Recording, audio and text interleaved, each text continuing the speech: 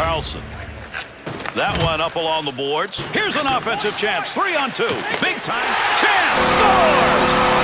Big goal when they needed it. They clapped this game back to even.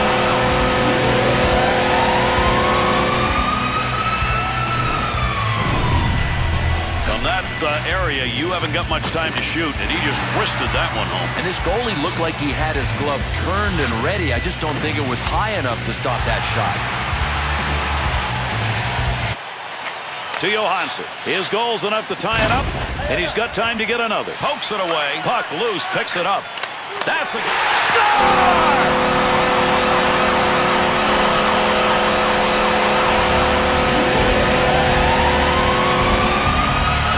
Ward's wrister. That's not only good enough. That's an outstanding shot that he brings home. And Garrett took a pretty good shot because this goalie is decent high to the glove side.